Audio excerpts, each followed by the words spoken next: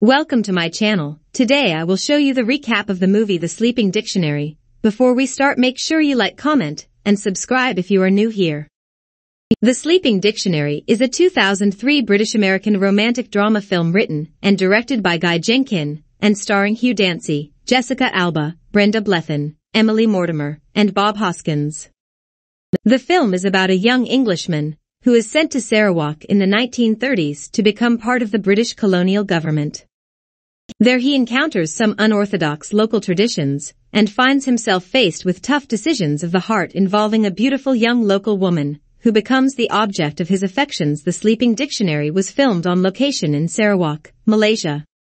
John Truscott, Hugh Dancy, a young and naive Englishman, travels to the British territory of Sarawak, Borneo, referred to as a colony in the film, to try to apply his father's work to the Iban Society. There he meets Henry Bullard, Bob Hoskins, and Aggie Bullard, his boss, Brenda Blethyn. John works to civilize the area by constructing schools and providing educational opportunities for the Iban people. Unfamiliar local customs greet him. Selima, Jessica Alba, becomes his sleeping dictionary, teaching him the local language and customs while sleeping with him. John is sent up a river where a sickness is affecting the Yakata tribe. He and Selima travel inland. John witnesses a nearby mining operation run by Europeans.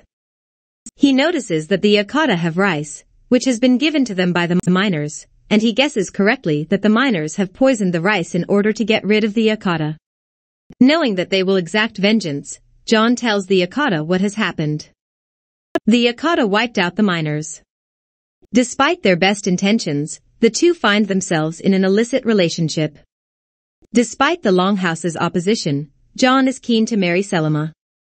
They imprison Selima after John informs Henry of his plans to marry her. They part ways when Selima agrees to marry in the Longhouse. Bullard has threatened to charge him with the deaths of the European miners. He strikes an agreement with John.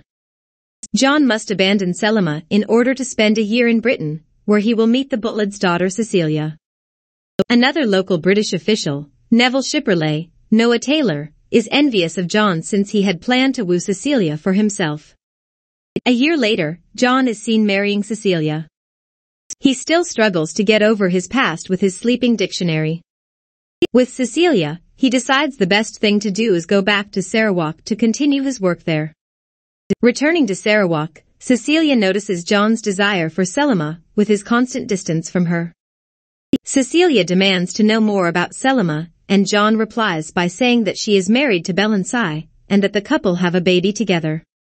While collecting rocks for research at the lake, John notices Selima with a newborn. He feels the child is his and wants Famous to set up a meeting between the two of them. Selima returns home soon after, completely oblivious to John's presence. John begs to see his son, and Selima quickly rushes away before John can intervene. John meets his kid Mundar for the first time in this scene. When Belansai learns that John, John is spending time with his wife, he sneaks in and tries to kill him with a razor, but only manages to injure him. The following morning, Henry tells John about his own sleeping dictionary, which led to the birth of a second child, Selima.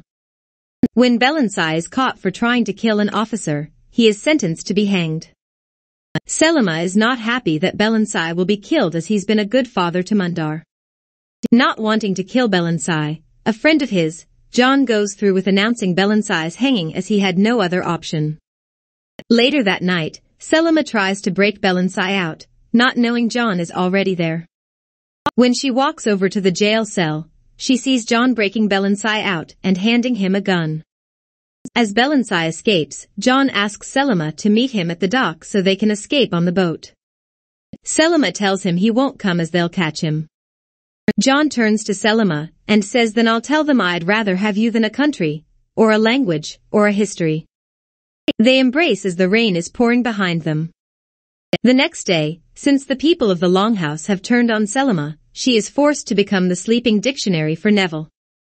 Later Cecilia announces she is pregnant shocking John.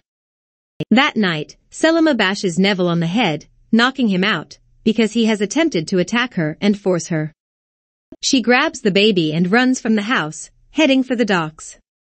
Although John still has plans to be with Selima and their son, he begins writing a note, but stops as Cecilia catches him. The couple then discuss John's feelings for Selima and Cecilia's desire for him to be happy. Aggie is enraged that Cecilia and Henry have allowed both John and Selima to flee together because she never left Henry's sight for fear of him taking his sleeping dictionary with him. She motivates Neville to pursue them. With the help of Famous and the Yakata, John searches for Selima, as she's left believing that John didn't come to the place of arrangement. They reunite as Neville comes through with a gun. He tells them to cuff themselves around the bamboo, and tells them of his plans to kill John, Selma, and their baby. They're then rescued by the Yakata, who kill Neville. In the end, they decide to live together and migrate with the Yakata.